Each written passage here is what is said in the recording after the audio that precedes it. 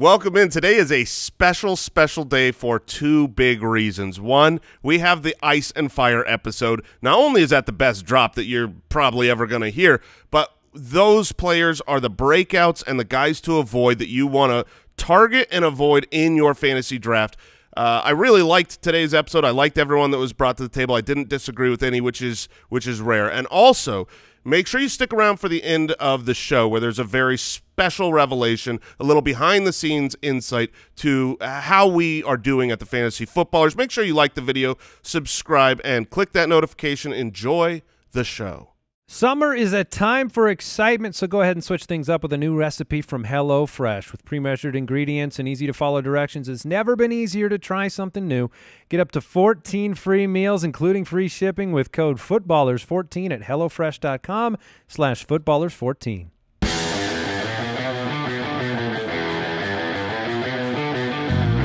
Welcome to the Fantasy Footballers Podcast with your hosts, Andy Holloway, Jason Moore, and Mike Wright.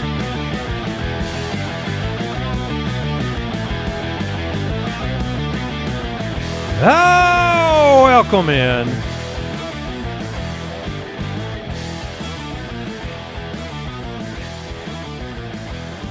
Friday, August 6th, the Fantasy Footballers Podcast. Mike Wright, Jason Moore, I'm Andy Holloway. Another fine episode. The finest, I think. Ice and Hmm. fire on the show today. Oh no, this is going to be like the this is the one? So far. Oh, okay. So not like the finest of all time. No, you want to keep aspiring, but it's going to be good. I mean, I, let's be honest. It's going to be a great show. With a drop like we have on today's show. I mean, it's going to be excellent. Always look forward to this show. Much better than yesterday's show. I'll tell you that much. Oh gosh. That was only great. Yes. Yeah. Well, I- no, it would mean it was awesome. Well, they can evaluate it for themselves. Just listen to yesterday's show, and you'll be set. Uh, no, we have we had football yesterday. Yes, we did.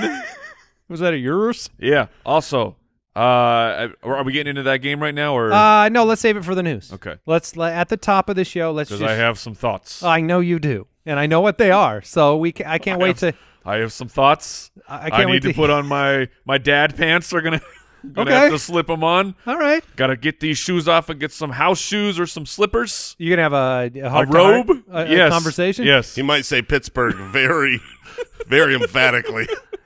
Twitter at the FF Ballers if you want to follow the show. UltimateDraftKit.com. Check out the award-winning, proven, best tool to help you with your draft. And uh, very excited about the Ultimate Draft Kit this year. You can use it on the app and on the web, and it's updated and it's ready to go, so that you can beat all those uh, slimy league mates. Oh, the slimiest. Yeah, they're the worst. Am I right? Yeah. Uh, the fantasyfootballers.com is the website. It is Friday. Foot Clan Friday. Well, since we're into five shows a week, that means Foot Clan Friday is back for 2021. Our weekly giveaway for a supporter over at jointhefoot.com. This week's item from Pristine Auction is an Alvin Kamara Wait, what? signed Okay. jersey. Super Camario. Wow. That's a that's a good gift. They did not run this by us, Mike. No, they did not. Is that the only one that we're doing this year, Brooksy? What's up? Is that the only gift we've got for this whole year? For No the way. Oh, every week? Okay. Every week. Heck Will yeah. Baker. Will Baker, congratulations. Hmm. You win the Alvin Kamara signed jersey. What's crazy is he is a candlestick maker. Yes. Sometimes you have to go into certain careers. Uh, pristineauction.com. Use the code BALLERS. Get a $10 credit, and we'll be giving away an item every single Friday. Mike, I don't want to hold you back too long. Let's get into the news. All right. News and notes from around the league. Presented by Sleeper. The Hall of Fame game was last night. The Steelers, the Cowboys, they get the bonus. Yes, the Hall of Fame Preseason game, game. known as the the ceremonial opening to the preseason to the NFL season. Everyone gets to romp around in their Hall of Fame gold jackets, which Yeah, I mean, if I had one, yeah, if, I if would romp if I had one, I would definitely wear it. But I mean, these are like very prestigious, right? yeah. Can we make them look a little better? Oh, you think they're too mustardy? I think they're. Ah, they're do, you- do you want them to shine? You like want a them made out of pure gold. I'll I'll take that. I just want them a little more aesthetically pleasing. Sure. I don't know why these championship jackets have to like. Well, they were made a long time ago, Mike. I mean, the, the original design It's was okay not to yesterday. them. It's okay to update them. Would you prefer the uh, the Hall of Fame gold jacket or the Masters green jacket? Ooh, neither. Those are the two jackets I know about. Neither. Neither. Okay. So the uh, yeah, the game was not the the best game in the world. It never is. it never. Yeah, it's always bad. but uh, we did get to see what I wanted to see. I wanted to see Najee Harris Yep. in a Steelers uniform on a football field, um, getting the ball thrown his way, getting the ball handed to him. We got to see that. Yeah, we got to see a little bit more than we should have seen. Do you, do you want to have? I mean, is that what you were upset about? Yeah, uh, we had starters out there in the second quarter of the Hall of Fame game. Look, if I were Dan Campbell, Yes, yes. I would say this to you. I would say if my franchise quarterback, first round pick, can't make it through a quarter of the Hall of Fame game or two, then what's he's got no business being in the backfield. Uh, That's a very Dan Campbell type of thing to That's say. That's what I'm saying. And I would say that every snap, freak and fluke injuries happen. So why increase your risk of your starters? We already got to have our very first preseason freak out when Chase Claypool making a super boss catch. That by was The way. a great catch. I, I mean, it was an overthrow by Mason Rudolph. Super boss. It was. I mean, he went. He took took to the air like Superman. yes. He may have gotten a little boost from the DB, just you know, just a gentle little shove off of him, but Claypool fully laid out. I think it was a 45 yard reception. He came down on the ball, uh, which that's that. So I think he just knocked the wind out of himself. He's okay, but he was he was down, and it's like. Okay, we're we're we're this. You had a hard We're in the first game. Chase Cool- Claypool is a guy I am targeting everywhere, so that was uh, I was, a little freaked out. Now, right if there. you're, I mean, if you're an NFL coach, are are you just not playing anyone at all in preseason because they can get injured at any time? I No. mean, you got to get these guys out there for, you know, Game speed. yes, right? one hundred percent. Just not Mike's players. But the yeah, not my fantasy players. Number Right, one, okay. that's that's my hard fast rule. Uh, but number two, the hall, not the Hall of Fame game. These guys have are what like a week and a half into training camp. Let them start acclimating. Let the let the guys who are trying to really earn playing time get out there and show what they can do. It was Pre- great when they- Preseason week two, okay, increase the snaps a bit. When they had John Lynch on and they're interviewing him, and he paused because the game, you know, the, the they took a snap and the Uh-huh. game was playing, and they literally go, "Oh, you could talk over this game." it's like, yeah, we, this isn't real.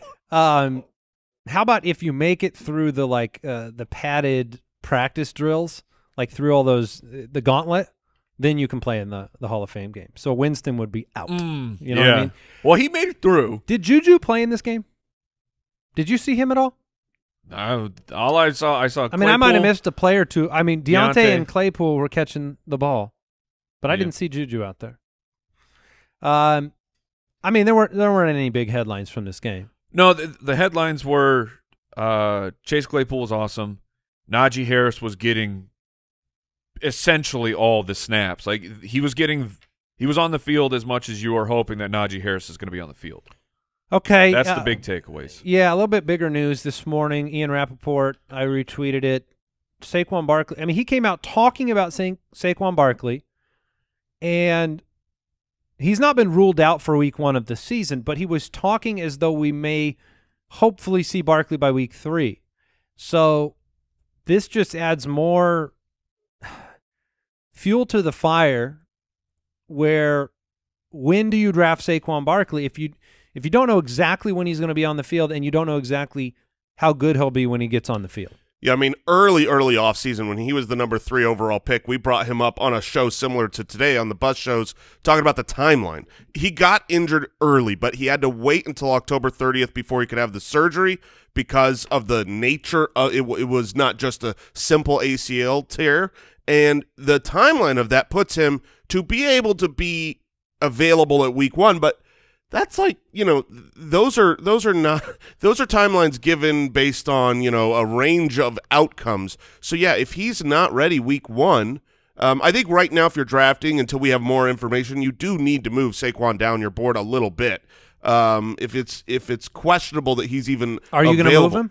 I mean, because right now he's consensus six for us. I have him at eight. J- Mike at seven. You're you have him at six, but this information just broke. Yeah, I mean, it, right now I'm I'm going to move him down a little bit in the sense that if I were drafting today, right, I've got Saquon currently at six. If I were drafting today, the guys behind Saquon, like Aaron Jones, I would take Jones. I would sure. take Aaron Jones. So Would you take Jonathan Taylor over Saquon right now? I don't think so. No, that's probably about where it breaks. Ekeler. I would take Ekeler. Okay. So uh, we need to monitor this. I mean, still more time before the season kicks off, and he could be out there week one. I don't think that's a zero percent No. chance at all. And Uh, on top of that, once he's back, I mean he's he's a true three down running back. So you just have to adjust your week one expectations accordingly. If he's not there, somebody will start week one, maybe week two for the Giants. Is that Yeah. Devontae Booker, The Page Master?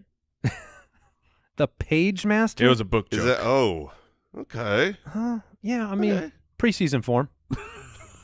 It's it's a it's Hall of Fame game time. I okay, all right. I don't want Devontae Booker in a committee with the 32nd ranked offensive line against Denver, Washington. I don't think I'm that interested in that, especially when you like don't have injuries. Like whoever you draft in your draft the likely isn't injured. Didn't they just sign Alfred Morris? They did they well that that could be them preparing to be That, without that's what I'm saying is is whenever this time of year you're signing an extra running back, it could be more information behind the scenes. But for your your concerns with Devontae Booker, which are are well founded, Booker is a Booker's a fine player. I mean, he he can his rushing ability is is fine, and and he has decent hands.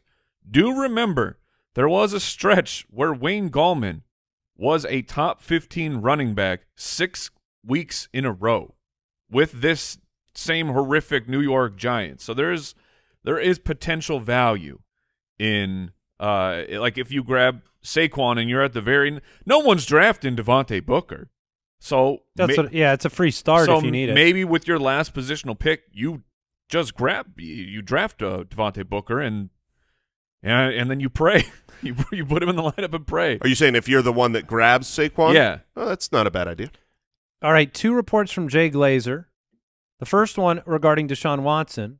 He says the Texans still believe that Deshaun Watson is, quote, going to end up wanting to play for them this year and that they are not returning calls to teams interested in a trade. I like that it, the quote is going to end up wanting.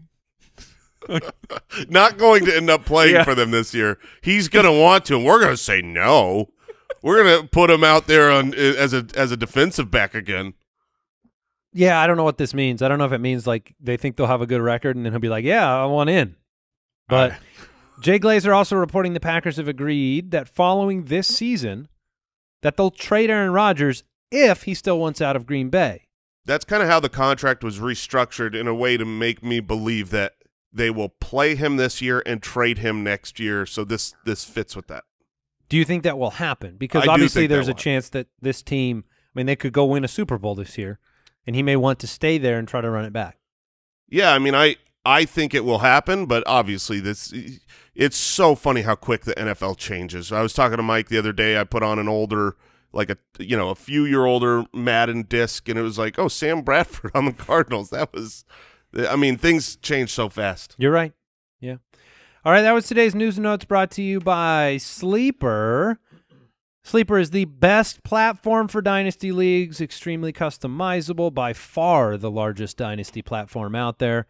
And uh, look, it's all about staying connected with your friends, and, and they facilitate that part of fantasy, which is the part that we love the fun of fantasy, the connection, all of the things that make it great, why people do it. Uh, it's not just to win. I mean, that part you might as well. Yeah, you connect with these people so you can sever the connection with extreme prejudice Correct. when you destroy them If you're in not fantasy football. if you're not connected, how do you gloat? If you're not connected, how do you lord victories over them? It would be impossible. So check out Sleeper. you guys ready for the drop of all drops? yes. I can't wait.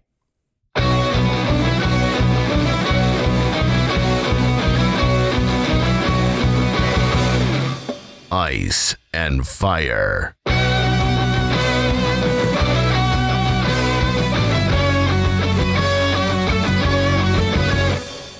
All right, another year upon us and another ice and fire segment on the fantasy footballers. Look, the ice picks from last season, they were pretty hot. Did we we iced them out? Uh, I think we were three for three. I had right. I had Tyler Higbee. There was a lot of hype for Hig- yes. Higbee. Okay. Uh, Jason went with Austin Hooper, Yeah, okay. more of a pooper. Mhm. And then Mike Todd Gurley. I mean, he started off looking like he was going to He was make you look silly. he was ice and fire. yes, he or fire and ice. he was succeeding while being an ice player. He was succeeding in spite of himself. Yes. Whoops, I scored again. Yeah. All right, so I'm going to start. I have my ice pick for this year. I don't know if I could have more conviction about an ice player than I do for this uh, unfortunate young man. My goal here today is to convince you to include him in the Ultimate Draft Kit as, as a formal official bust. Okay, I'm listening. Because the Ultimate Draft Kit has sleepers, breakouts, bust values. They're kind of our consensus picks, or at least two thirds of us believe it, and the other one makes sure to mention it in the description of the player that like we're against it. But it's Mecole Hardman, the Okay. Chiefs wide receiver. Um, look, when you are hiring somebody for an official position, right? Let's pretend you are the oh, are we gonna do an interview? yeah, you're the manager of your fantasy team. Why don't, uh, you have a have a seat here? Thank you for coming to the interview. Yeah, exactly. And the the resume turned in by Mecole Hardman connected with all of the hype and excitement and hopes, right? First of all, let's just examine the psychology here. The psychology that exists around loving Mecole Hardman or aspiring to the greatness or the future greatness of Mecole Hardman exists as Sammy Watkins is leaving. Let's just examine the psychology of that, first of all. But here's the resume that Mecole Hardman is trying to he's trying to get the job of a breakout wide receiver on my mm-hmm. fantasy team. He's mm-hmm. trying to get that job. Here's his resume. He's played 32 games. Would you say that's That's a lot of games? a games. decent amount? Yeah, that's a fair sample. In 32 games played in his career with I don't know, the best quarterback in the history of the game. One top Wow, we're already putting Patrick he, Mahomes. he might the he might be. I'm fine with that. Uh, one top 12 performance Ooh. in 32 games. Okay. Um, how about 32 games played, one game with more than four receptions? So that talent's just demanding the ball, right? Uh, 32 games played, never hit 100 yards in a game. That's 0% if you are he's doing never the hit a hundo. Yeah, exactly. We've seen a 32 game sample size. These numbers back up my like eyeballs where I said I've said it all offseason like like I'm just done and out on Mecole Hardman because I don't think it can happen for him. Um, players that have averaged more yards per game in that span, that 32 game span, than Mecole Hardman, Anthony Miller, Damiere Byrd, Chris Conley, James White. How about you just examine, set his resume to the side and just examine the upside for the Chiefs as a wide receiver too? Well, no matter who's played the wide receiver two on this team, they've all been terrible because you have Travis Kelce, who's truly the wide receiver one, and then Tyreek Hill, who's the wide receiver one, right? You have two supreme pass catching talents. They're like both one and a half. The fantasy finish for the wide receiver two in Kansas City the last four years with Patrick Mahomes 58th, 62nd, 51st, and 59th. What we're going to see happen in Kansas City this year is the same thing we always see happen at wide receiver two for Kansas City. Hardman might have a game. Then Demarcus Robinson might have a game. Then Pringle might have a game. Then Clyde Edwards-Helaire might have a game. If you want to bet on the Chiefs, you bet on the top two guys, Kelce and Hill. That's how the offense runs. And guess what? It's been pretty darn successful. So I think Mecole Hardman has no shot. I really, I really don't. He's going to have a big game or a big end around run or a big touchdown pass. He's explosive, but um, you know the last Kansas City wide receiver two to finish inside the top forty was uh, back in the Bush administration in 2004, which was a long time ago. So I just don't, I just don't believe is that is that a real stat? that's a real stat. That's a good one. Yeah. So I, I think, thought you were just making a joke. no, no, that's real. So uh, I think we've seen enough of Hardman to where I would just say like I think Demarcus Robinson's a better wide receiver than Oh. Mecole Hardman is. Right now, Demarcus Robinson is fighting with Pringle to be the number three. And from what I hear, Pringle is winning the job, uh, Well, and that 'cause- Hardman is doing well in camp. Once once you pop, You know, stop. yeah. Yeah. Well, yeah, I mean, we'll see. We'll see. He's stopped.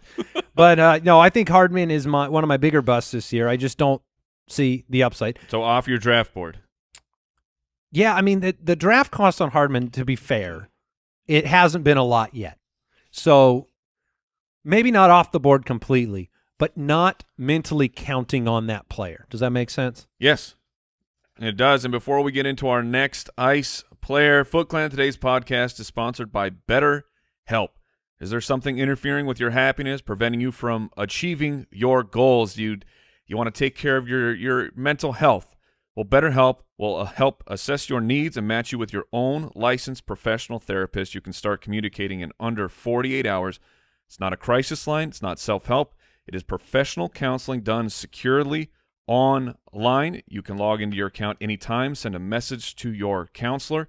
It's available worldwide. I mean, the the Accessibility for something like this that comes with the Yes. technology age is awesome. yes, it really has taken us a, st- uh, a step forward, but you got to be willing to take that step and and reach out to BetterHelp. Uh, BetterHelp is committed to facilitating great therapeutic matches, so they make it easy and free to change counselors if needed. It's more affordable than traditional offline counseling, and financial aid is available.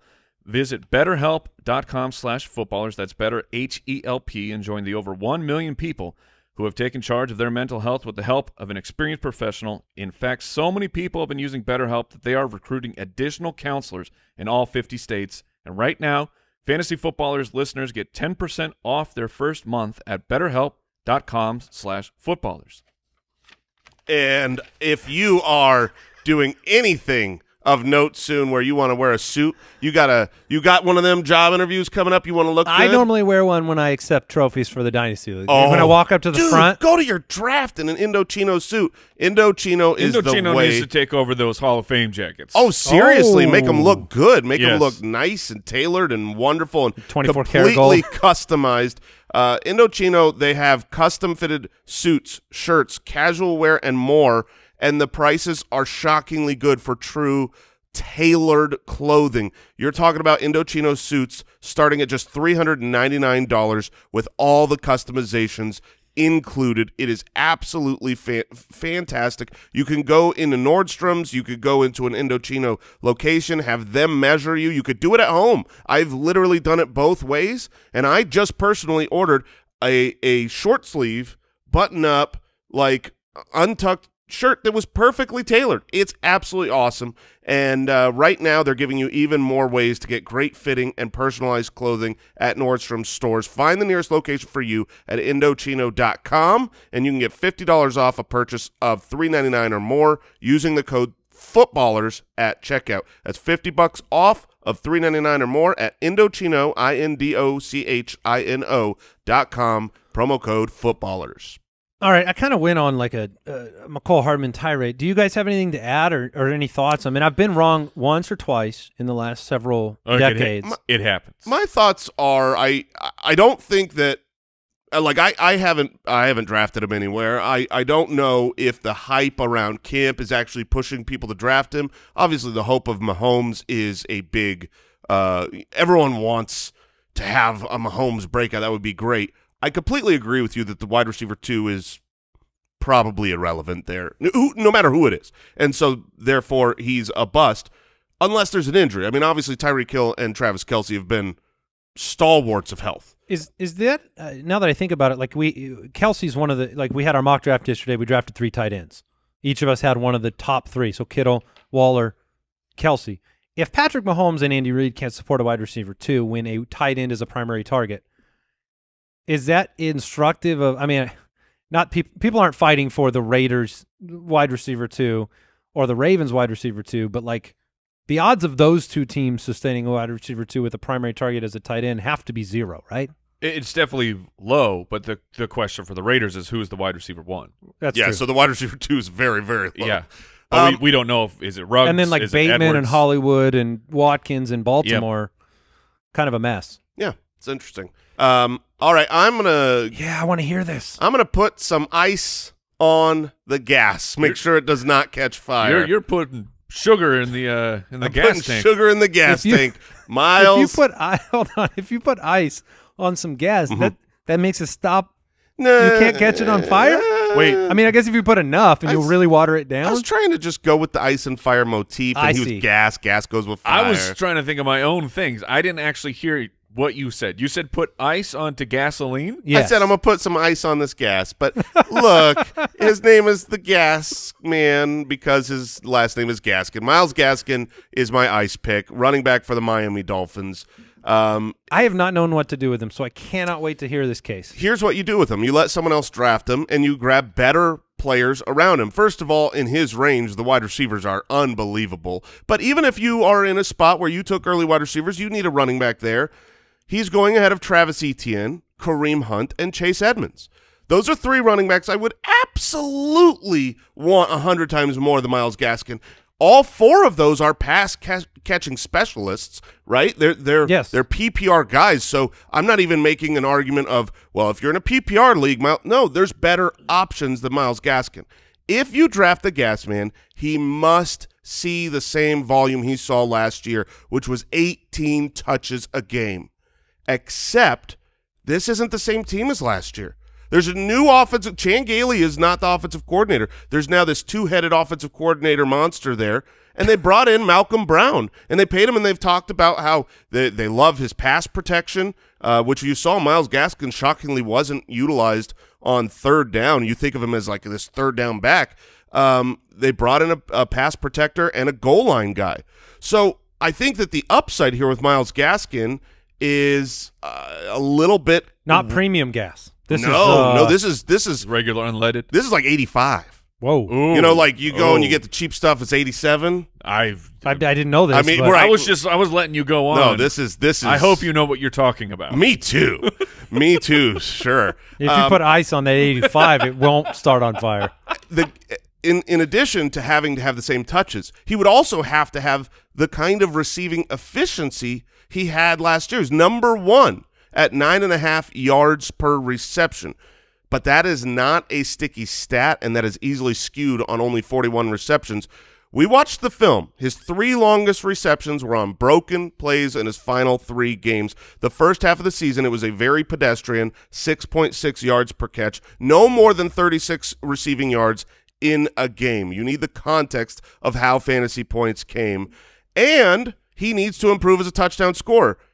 The leading touchdown rusher last year was Jordan Howard, who Yes. wasn't on the team most of the season. He's a 200 pound running back who was very involved in the pass game, and now they brought in Jaylen Waddle.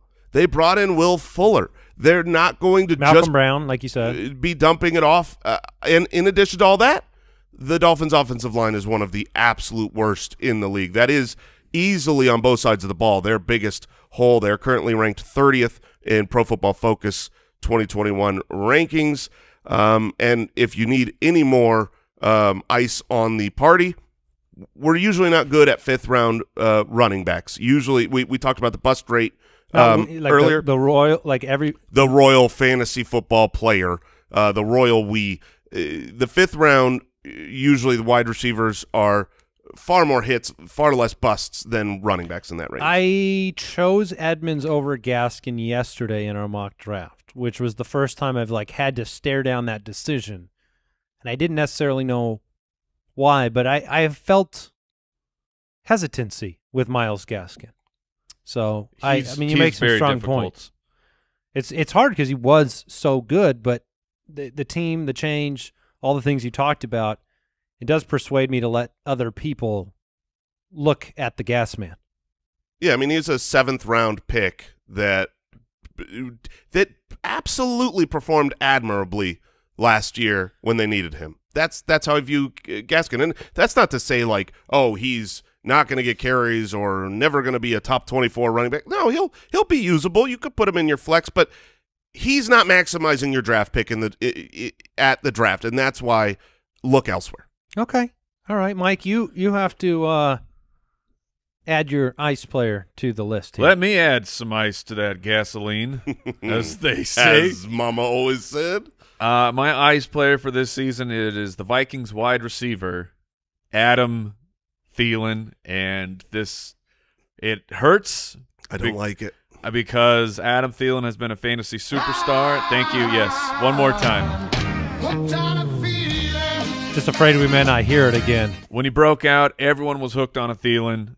It was great. It was a it was a sensational story. His his rise from essentially you know nowhere of relevance, working all the way up To millions of dollars. to getting that getting the bag, being a very productive wide receiver.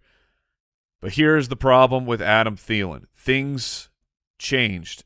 And Adam Thielen to sustain being a high level wide receiver has to score an overabundance of receiving touchdowns. Last year, weeks 1 through 9, Adam Thielen was still the number 1 man for the Minnesota Vikings. He was pulling in a 29% target share. Which I'm sorry, we have we have to pause for just a moment. Yeah, What we did I- missed. We Apparently, missed we we we have, we have a responsibility to the people. Apparently, you threw a productful in there. Oh, did I? Yes. a productful season. Now, I mean, even Jason caught that one. oh man, productful. What an idiot! All right, proceed. I felt I was on a roll. and also, sorry, uh, sorry. I have now coined the word productful. yes, Oh, no, yeah. well, wonderful. Uh, definition, full of production. right, right. Oh, I get it. I see it. It was right there. yeah, now I understand. Um, you were if saying you know so- what I mean when I'm saying a word, it's a real word. That's what I've been saying for years, yes, and I'm on your side. okay. Uh, so his very productive season, uh, weeks one through nine, Adam Thielen had a 29% target share. That is an extreme. That's why Yes. That is it is absolute elite top tier uh, when it comes to target share. While Justin Jefferson, the rookie, in that time was seeing 22%. What happens after that? Justin Jefferson breaks out and goes on the tear and ha- ends up having the best rookie wide receiver season of all time. Justin Jefferson shifts for uh, weeks 10 through 17 to the 29% target share, and Adam Thielen drops to an 18% target share. That is not going to get it done. It over the long term. Yes, over that time, Adam Thielen was still fine for fantasy football because he was scoring touchdowns on a weekly basis. That's the fantasy argument we would make with a drop target share. We'd be like, well, the only way he's going to be okay now is if he scores a ton. Yes. But now let's remind people who Adam Thielen is at this point. That was his year 30. Like, not 30th year in the C- in the NFL, but That's he is- good. he's, he's a long-term player, Oh. but he was 30 years old. Since the year 2000, we have only a lot seen of productification. we have since the year 2000, we have only seen nine players playing in their uh, age 30 season with 10 or more touchdowns. In fact, Adam Thielen had the third most touchdowns in that time span. Oh, at age 30? At age 30, like that's how great the season was. The next year, all of those wide receivers, those nine players, uh, here's here's what happened to them. Marvin Harrison held his value. Shocker. Marvin Harrison, Hall of Fame player, playing with Hall of Fame quarterback, still held on. Randy Moss still held on, but he went from 23 touchdowns down to 12. Again, 23 yeah, but again, Hall of Fame wide receiver, first ballot Hall of Fame wide receiver, playing with first ballot Hall of Fame quarterback. Harrison and Moss, or they were the only players that repeated double digit touchdowns in that time, and all the other guys, they saw a substantial drop. We're talking six to seven touchdowns on average, fewer than they pulled in when they were 30 years old. Look what happened with Captain Kirk Cousins. He hit a 6.8% touchdown rate. He threw 35 touchdowns. That's the most in his entire career. Up until that point, Kirk Cousins was averaging a 5% uh, touchdown rate. So 5% of his passing attempts turn into touchdowns, and he averaged about 27 touchdowns. So Kirk, Adam Thielen were huge benefactors of the uh, the outrageous offensive output that we saw coming from the COVID shortened training camp, and it happened across the entire season. So if if Kirk sees the natural regression that I'm projecting he's going to see, if Adam Thielen sees the natural touchdown regression that I'm projecting he's going to see, you're going to be really disappointed that you took him as your wide receiver too. Yeah, and, and the, the the truth is, I I do think that the passing game for the Minnesota Vikings takes a step backwards as the defense takes a very large step forward. He's going to be 31 this year. There's there's a lot of the, the the problem that I have with the argument, and the reason that I I I don't like calling him an ice, even though I get it. I get all these arguments. I agree with all of the arguments you said. Is just the simple fact that last year when we watched Adam Thielen at the goal line, man alive, he made every single DB turn their backs on him, uh, fall over, and he was just got just got beautifully open in the end zone, and that's how a lot of those touchdowns seem to come. So there there wasn't film that made me doubt him. He's still great. I believe Adam Thielen is still good, but um, kind of an odds game. yeah, it's a, exactly. I You're don't think, playing and the, the passing odds. game doesn't have to take a step back because the defense gets better either. Like we use that refrain a lot, but that's not a. It's not like you have a hundred. Uh, it's not a video game where you have a hundred points to distribute, and if Right. the defense gets five extras, the passing game goes down five. But he did throw a ton of touchdowns. Yes. And like a Matt Ryan season, you do see, you know, you're going to see it bounce back and forth. Plus, I don't know if he can pass it through the plexiglass.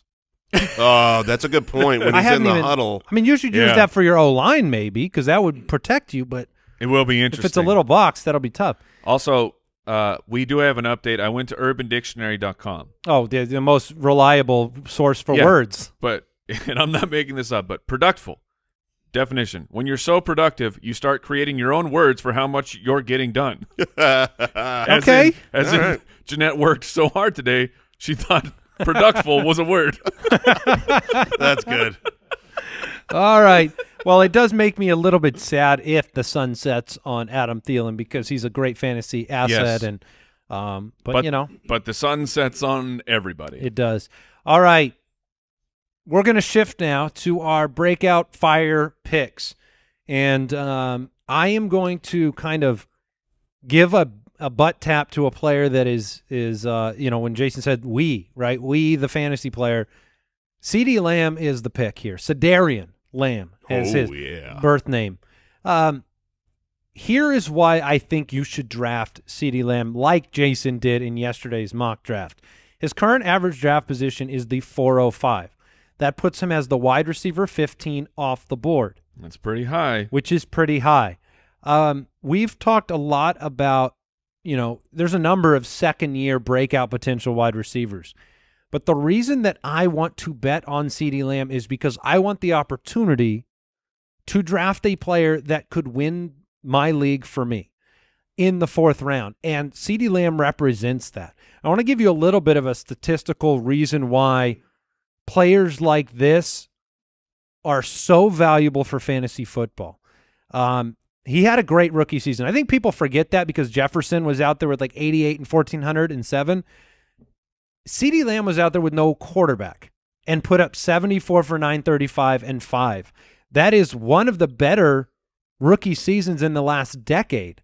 That's uh, in the category where, you know, Keenan, Beckham, Benjamin, Cooper, Thomas, Jefferson, Lamb, those are the best rookie seasons. Thomas Jefferson did That's it. that's all I could I hear. did say Thomas Jefferson. That's it. He was an incredible wide receiver, founding father and wide receiver extraordinaire.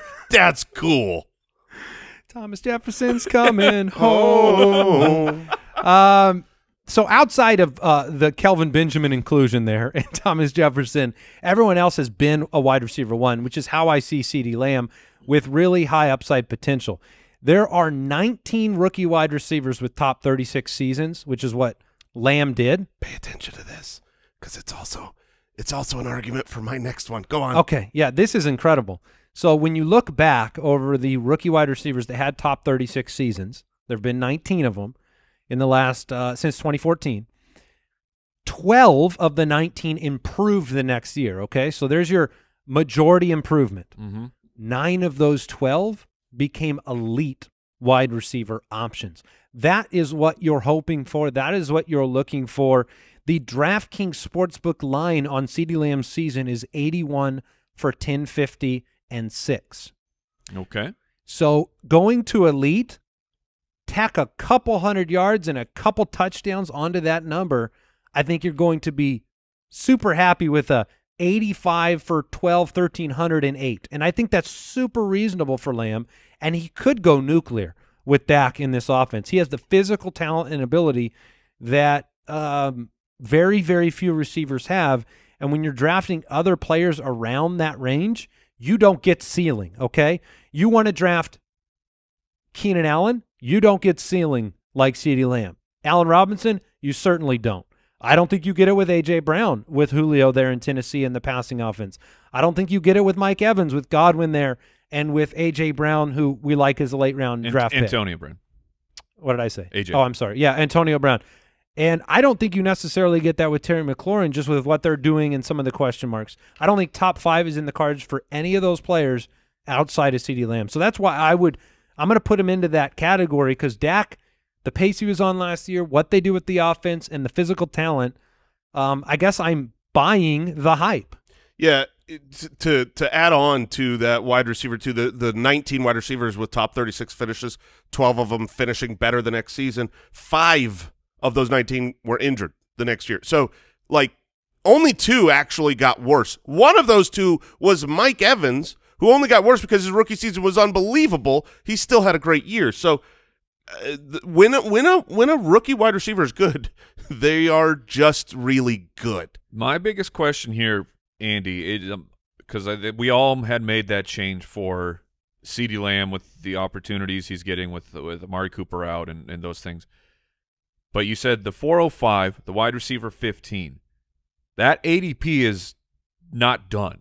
That like that, that he is on an escalator uh, to the clouds right now. And at what point?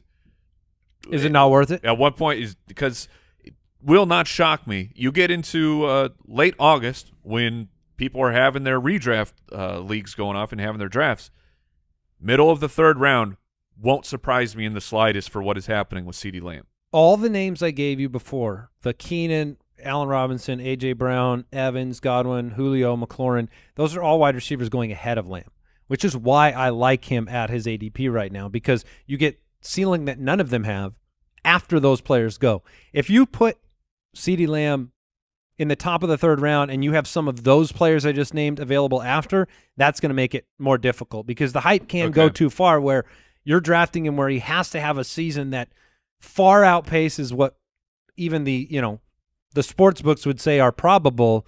And at that point in time, you just have probably too much room to lose on the transaction. So Are- yeah, if you draft the wide receiver five as the wide receiver five, th- yeah, I mean that's That's a win. That's, that's great. Yes. So it's a win, but you're you're not you're not gaining anything over you know i- Right. like you are right now with drafting CeeDee. Okay, so he, let's say he his ADP keeps going up, and I I know you listed these players of uh you're doubtful of the ceiling, but when you're in the draft, are you willing to draft CeeDee Lamb over Mike Evans, yes. Over Allen Robinson, Yeah. over Terry?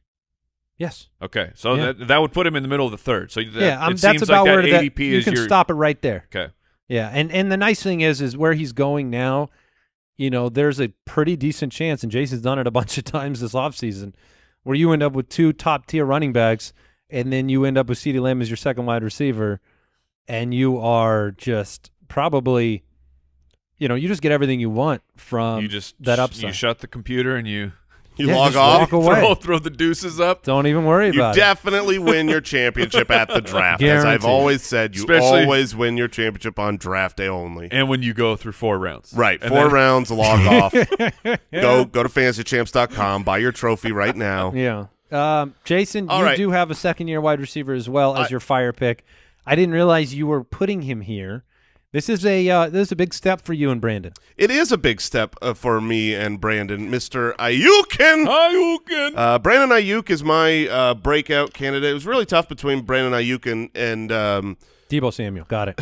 no, no, that one that one was rather easy. Um, no, but Hawkinson was, you know, I, I definitely think he has a breakout year this year as well. But um, Brandon Aiyuk, everything you just said about wide receiver twos that finish with the top 36 rookie season holds true for also Brandon Aiyuk because last year he he did. And and here's the thing about Brandon Aiyuk is that he was drafted to be great, right? Deebo Yes. Samuel, a second rounder. Brandon Aiyuk, a first rounder, comes in and dominates. He had a stretch of games where he was uh, he wasn't even outside the top 24 at wide receiver. He was consistent. He was excellent. And a lot of excuses are made um, about well he did this with Deebo Samuel injured, he did this with with uh, George Kittle injured. That's a little overblown. Like Deebo Samuel was there for most of those games, and if you look at the comparison between Deebo Samuel and Brandon Aiyuk, Deebo Samuel played seven games last year. He only had two games inside the top 40. And one of those games was when, ironically, Brandon Aiyuk didn't play. Brandon Aiyuk was really, really solid, including the games that Deebo was active in.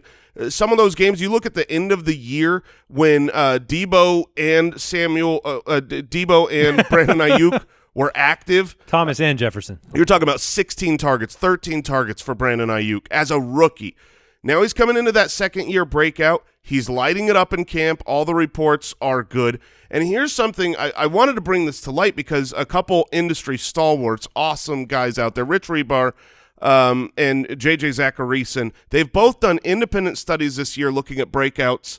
And I want to give a congratulations to the royal we of fantasy football players and the importance of ADP because they took two different approaches at looking at – uh, these breakout wide receivers. One was looking at a certain, uh, you know, ranking end of year finish, and then uh, JJ uh, was looking at outscoring uh, projected fantasy points at ADP and how do you find these breakouts. And one of the conclusions that both of them came to that was so cool is that when you have these nebulous situations, the wide receiver one, the guy who was drafted first in fantasy ADP, is almost always the right pick, which is, you know, you, you want to go, well, I'll take the value. I'll just take the one going a couple rounds later. But we get it right. We actually, as a fantasy community, we peg the the right guy, and Brandon Aiyuk is the guy who's being drafted as the breakout on that team. When you really break it down as far as talent, opportunity, uh, historical data on wide receiver twos, historical data on ADP, on breakout age. Everything aligns outside of having, you know, a rookie quarterback, which I assume he's going to have a rookie quarterback, for Brandon Aiyuk to really explode this year. Um, and the only argument against him, literally the only thing I could think, is that, well, he did it without uh, these guys on the field, or he was, uh, uh, you know, but lots of players have opportunity they don't seize. He did it. Period. You can make arguments. Well, the reason that you know this team won the Super Bowl is because they didn't deal with injuries. Yeah, that's life. But they won the Super Bowl.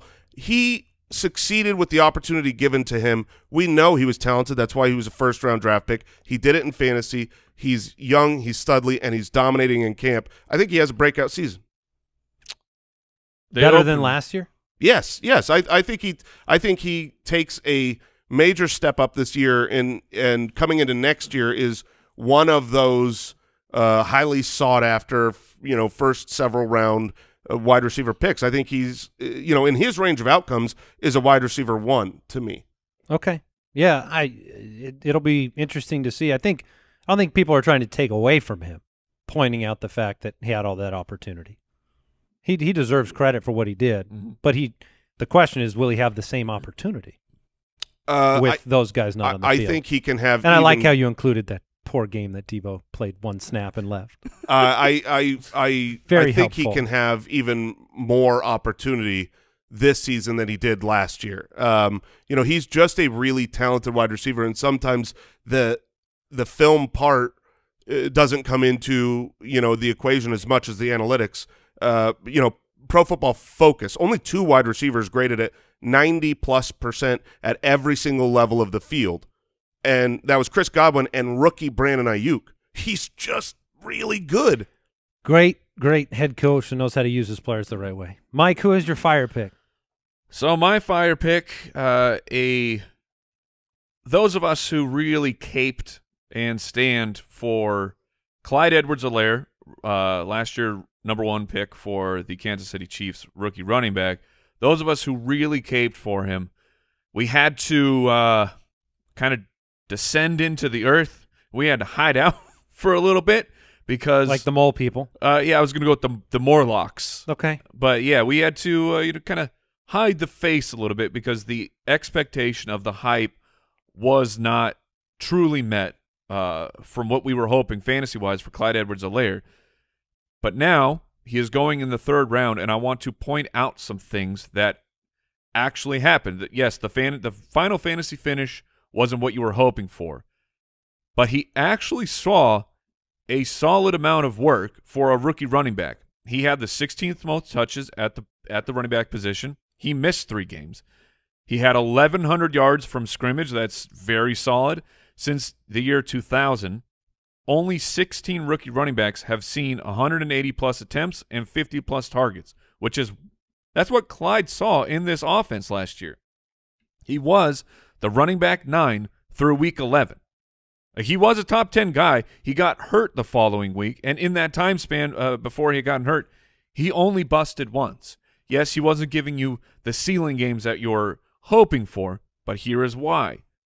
Touchdown regression, positive touchdown regression. Clyde Edwards scored a touchdown every 43 touches. And like I said, he was 16th. He saw the 16th Why didn't he score touches. more? He should have. He, yeah, really would have. Well, he, because he wouldn't be on this show then. Oh, he was Mm. he was He couldn't He be the ice player. Had- pandering. yes. So every 43 touches. That's extremely bad. That's not just well, eh, there's a bad. That's that's that's very not poor. not luck. good. The average of the running backs who are the top 15, the most touches in the league, they average a touchdown every 25 touches. So scoring at a a much higher rate than poor Clyde Edwards-Helaire. Last year he had nine carries inside the five that only turned into one touchdown. I believe that there is a uh, an opportunity for more uh, for more carries inside the five for Clyde when while he's not a rookie, you know, so get some more work. And you have the chance that possibly the Kansas City Chiefs aren't as uh, throw heavy inside the inside the five zone, which Patrick Mahomes is great there. But last year, Patrick Mahomes saw an average of 1.3 uh, passing attempts inside the five. In 2019, that was under one. It's like it, the career fluctuates for Patrick Mahomes. He's only 22 years old, and I think that he is producing or, or the opportunity for an extreme value pick. He can still be a top 10 running back, in my opinion, as the primary guy. Yes, Darrel Williams, uh, the report came out. He's going to see, or he's seeing about 30 to 35 percent of the work with the first team. That's to be expected. For was it the footcast that you and I were talking about? yeah, we- yeah. Okay. Yesterday we were talking about this, and, And I told you uh, my my fear is that he'll be a between the twenties guy. yes, You know that, that Darrel will get all the you know inside the five work, and that those touchdown totals will be hard because he doesn't break away, right? Like Clyde doesn't. yes, he Clyde is not a a top he- speed. His athletic profile is not like a top tier uh, type of thing. Even though he is he is shifty, That's my he, only fear. but he doesn't have the breakaway speed. And if that is your fear, and and that actually does happen, then Clyde to me is worth his ADP. Okay. He- his ceiling definitely goes away of him crashing the party and ending up as a top five running back because he hits that uh, crazy like a, a crazy Westbrook rushing Sure. touchdown total or a Shady McCoy, which to be fair to those comps, Andy Reid is the one who himself compared Clyde Edwards-Helaire to Brian Westbrook. He sees that in the uh, what what Clyde Edwards-Helaire could possibly become. So in the third round, I am very in on the draft price for Clyde Edwards-Helaire. I Did you get shaky at all with the Darrel Williams report, Jason? no, not not in the slightest.